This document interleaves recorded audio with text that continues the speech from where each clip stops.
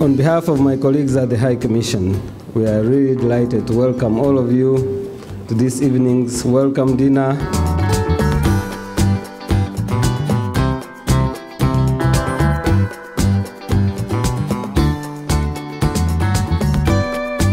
Government to government, Tanzania and Uganda have been talking for quite some time, but uh, we haven't been able to bring together the private sector. And uh, we thought that it is prudent to, in the margin of the Joint Permanent Commission, which uh, is the third one we're, we're having now, uh, we should bring together the private sector of Uganda and private sector of Tanzania to have what we call a joint business forum.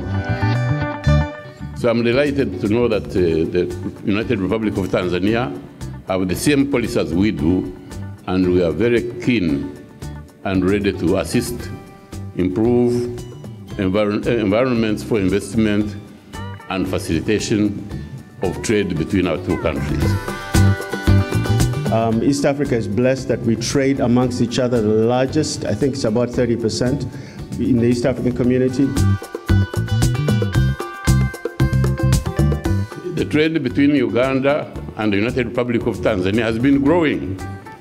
It started, I think, uh, by 2004, it was only $27 million.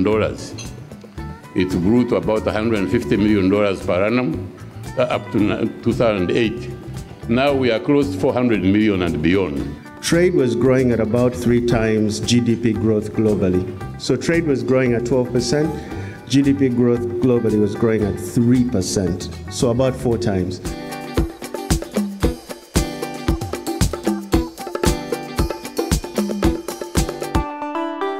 Government was looking at business as a group of people who are just making money for themselves is long gone and past.